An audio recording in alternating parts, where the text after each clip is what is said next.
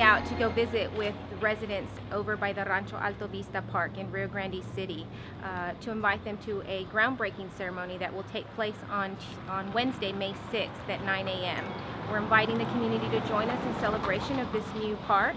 We will be breaking ground at the Rancho Alto Vista Park in Rio Grande City on Wednesday, uh, May 6th at 9 a.m. We invite the community to join us. If you have any questions, need uh, directions, please feel free to contact the Rio Grande City uh, Economic Development Corporation office at 956-487-3476. We hope you can join us.